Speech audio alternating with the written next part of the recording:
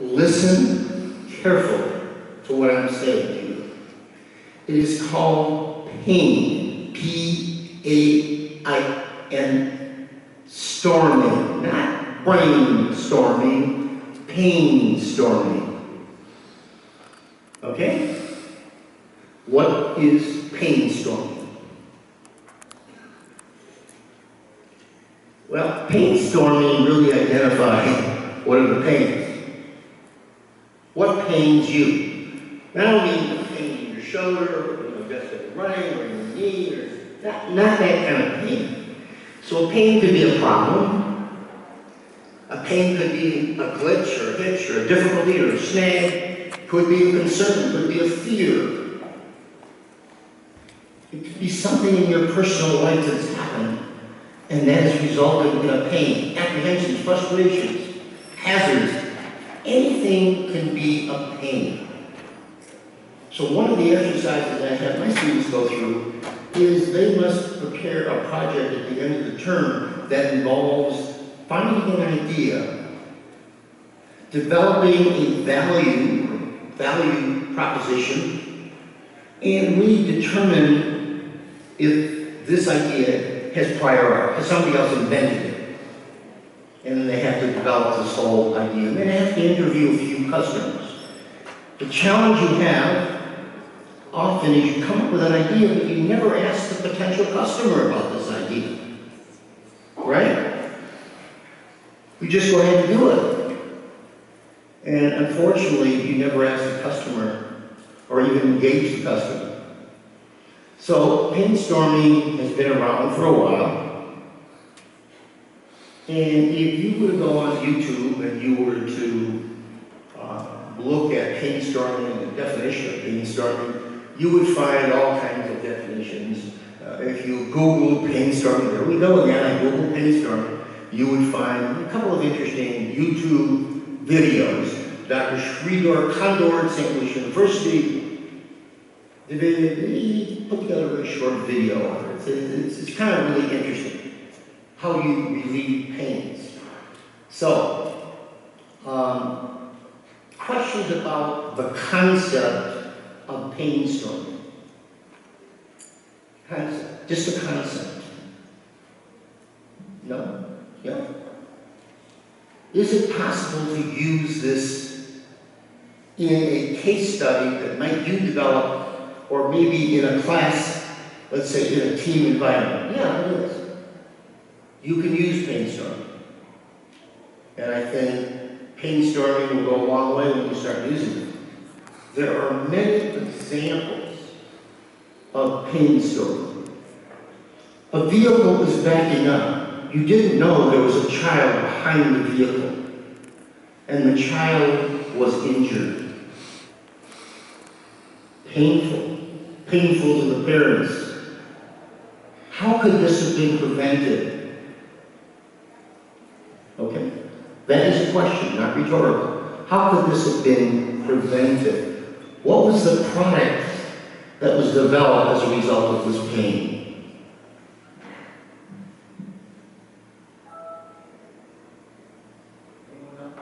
Anyone? Anyone know? Want to hear more of that? Anyone? Whatever. It was a camera actually was located in the rear of the vehicle, and you could see that child on your instrument panel, and an alarm would go off. Does anybody know of that? You're aware of the fact that this was developed? That was Painstorm that developed that product. The same kind of idea. Where's the pain? What's the pain causer? And what's the other part of it? What's the pain reliever? Are you getting the idea? If you were to read, I know some of you have used Value Proposition Design by Osterwalder. How many of you have seen this book? Anyone? No?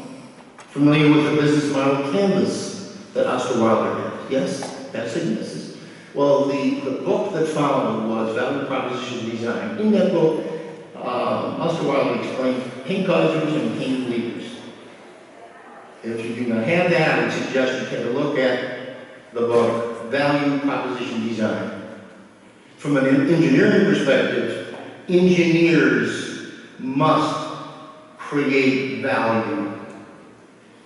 And so, since there were no questions, I want to talk to you about Painstorm, luggage on wheels. How many can remember ever having a piece of luggage without wheels?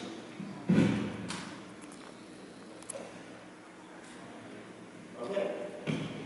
So, how did wheels happen to meet luggage? How long ago was that? Was that breakthrough? Was it really unique, the two of them coming together? What do think of that? Is that really a highly complex problem? Why did it happen?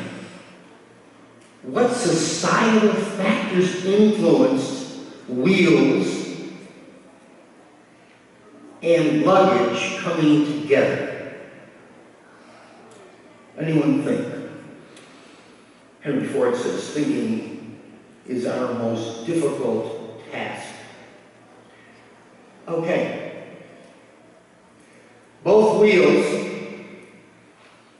and luggage. See, they listed for a long time. The two came together in 1971. So, this is the question. Does anyone have an answer? Would anyone care to take a guess at the answer? Yeah, back in the room there, please. To facilitate transportation, I, I can't quite, facilitate transportation of the luggage. the transportation change? Okay. What happened? How did it change? More easy to transport. What? It's easier to have, like, transportate the luggage to the wheels. Oh, yes. So that's how it happened. Well, guess what? Years ago, there used to be a porter or somebody that would carry your luggage for you. So you didn't, it wasn't very painful. So somebody else carried it. But now that's not the case. 1971, that's what it was. So transportation changed. When we used to travel years ago in the United States by train. Airline transportation, airports became larger, more difficult to navigate. And of course, let me tell you how it happened. There's a gentleman who's moving some wood or pipes, whatever it is, through the airport. He worked for the airport. And the gentleman that actually invented the two together, he saw that, and he was dragging his luggage through the, through the airport or onto the whatever. And he said, why don't we put the two together? This happened in 1971. And that's how it, wheels and luggage, but also if we go a little bit further, how wheels and luggage happen, think about it for a moment. So luggage on wheels, there actually is a guy that invented this, could have been a gal, was a guy. Inspiration came in 1971 when he was lugging a large suitcase through customs. And a man breezed by him, towing heavy, heavy machinery in a dolly. The patent, whereas formerly luggage would be handled by porters and be located and unloaded, loaded and unloaded, at points convenient to the street. The large terminals of today, particularly air terminals, have increased the difficulty of baggage handling. Baggage handling has become perhaps the biggest single difficulty in handling uh, encountered by air passengers, and that's how it happened. And of course, now, as you go further, then you have a, a device here which weighs your, your luggage uh, as you uh, carry that luggage and set it down and you know the. So that's just another. That, by the way, is an enhanced, an enhancement. That is an enhancement. That is not a breakthrough. Luggage on wheels, that is a breakthrough. I mean, uh, a breakthrough, yes. So, When visiting a new place, a new culture, you really have to think about that. And since uh, 19, 2012, uh, Dr. Ali and I have been traveling with the IEOM Society to different, different parts of the world, different societies. And if a pain that is taken granted for all of us uh, has become obvious and easy to recognize. This is pain.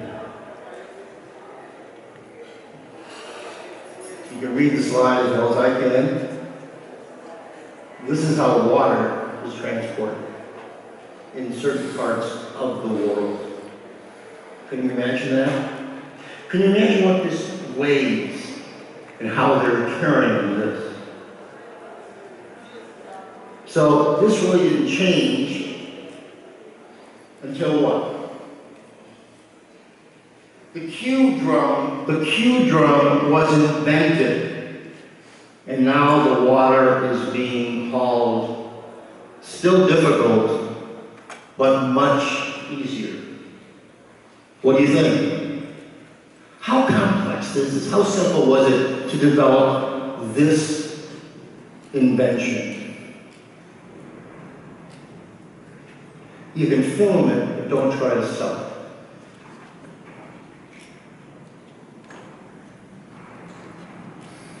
Interesting. Any comments on cube? All right. So the question is, I'm asking you, what pains you the most? And you just don't say, well, after cross country, my, my, my feet really bother me. Maybe you have to invent a new sneaker or something. I have no idea. That's not what I'm looking for. What I'm asking you to do is I'm asking you to be conscious and look around you and think about pains and how that pain may open up a whole new world for you. Just think about it unconsciously. I'm always doing that. Hence, an idea becomes reality, and then you can validate that idea using the business model canvas. So, let's go from painstorming into the characteristics of the entrepreneur. So, you can read this slide, I don't think these are anything maybe, you know, jumps out at you, but if you were looking at all seven characteristics,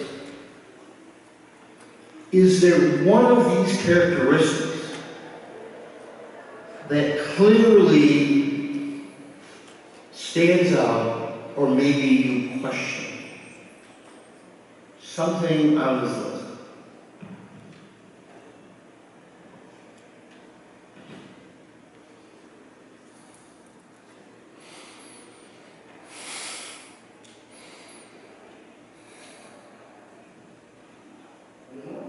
Anyone but thought about this? No? If you look at bullet, bullet seven, what, what is that all about? Striving and achieving independence. What does that mean you? Maybe your of life it means nothing. What does that mean? Why is that a characteristic of an entrepreneur? Hmm? What do you think?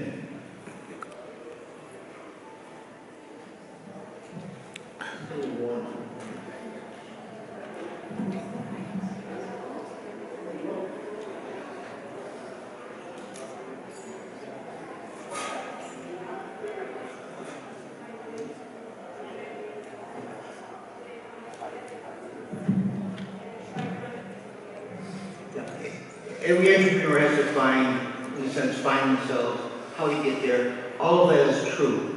But entrepreneurs tend to be individuals that, that really want to control their own destiny. We're going to talk about that more.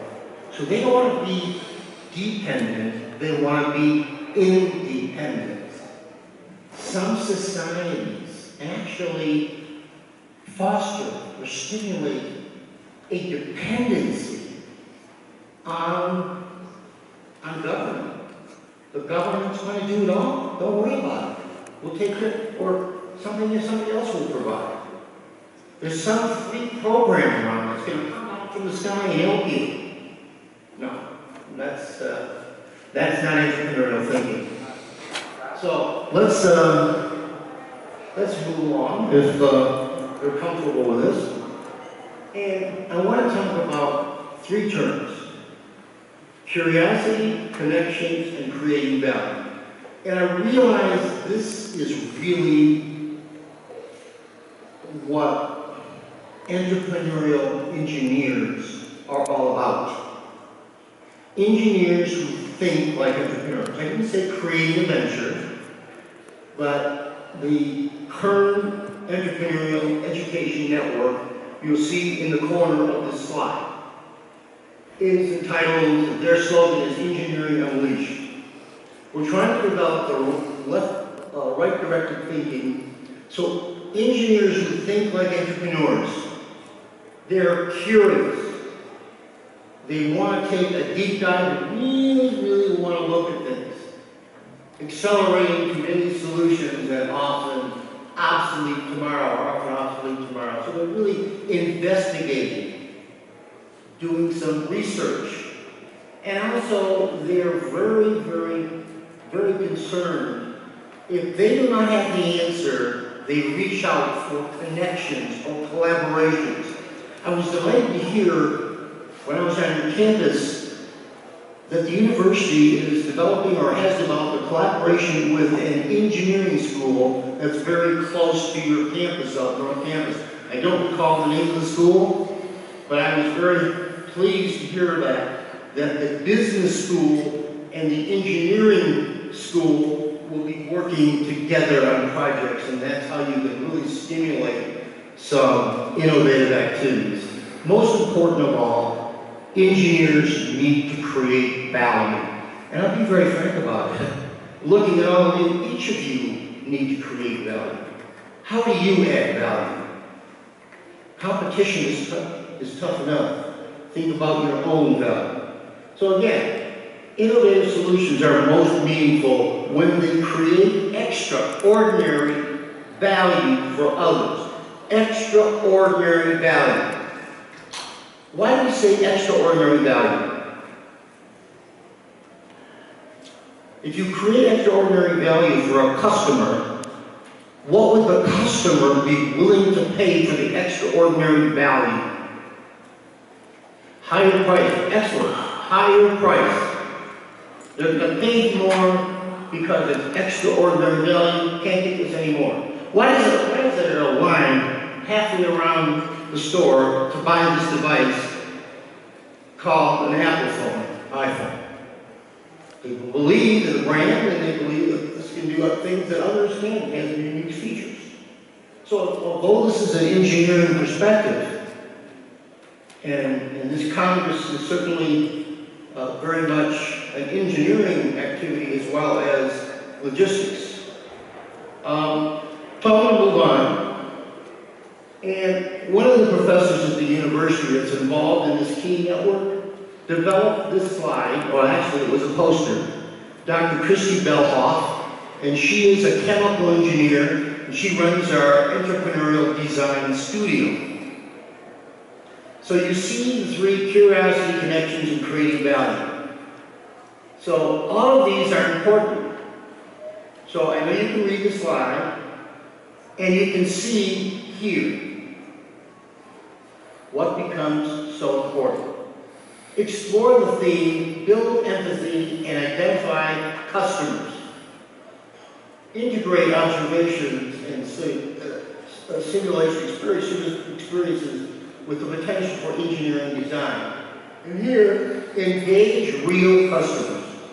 I'm saying the same to you as I would to my class in entrepreneurial mindset for engineers.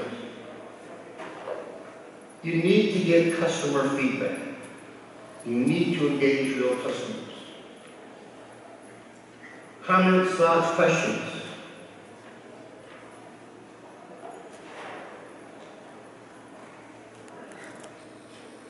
I've gone through several slides here.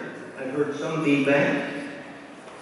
Let me hear, is what I'm talking about of interest to you? Do you find this to be maybe opening up the mind a little bit and causing you to think? Okay. Because this is you. You're the learners, you're the students. I'm glad you're here because this presentation was really built for you. Because you can take advantage of some of the knowledge that's here, maybe more. So, let's move on. Entrepreneurial competencies. Here's the competencies I think that are extremely important. Number one, recognizing an opportunity. I talked about that earlier. How critical is that?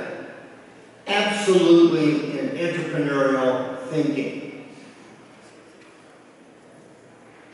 Now, you can recognize opportunities, you can see it all around you, document it, and we need to assess that opportunity. Is it real? Could it be commercialized? Can I test it? You need to master your creativity as well. My hobby happens to be cooking. I really enjoy getting in the kitchen. My wife loves that. She doesn't like it very well, but I do.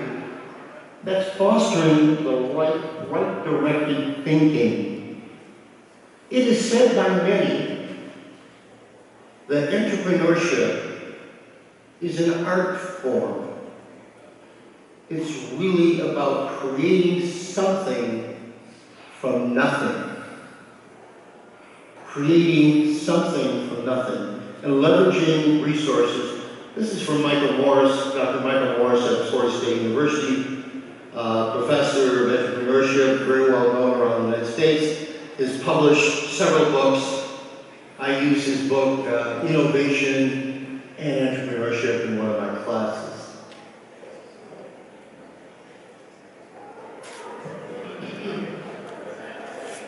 Okay. First, first bullet there, mitigating or managing risk. What's that all about? Mitigating or managing risk.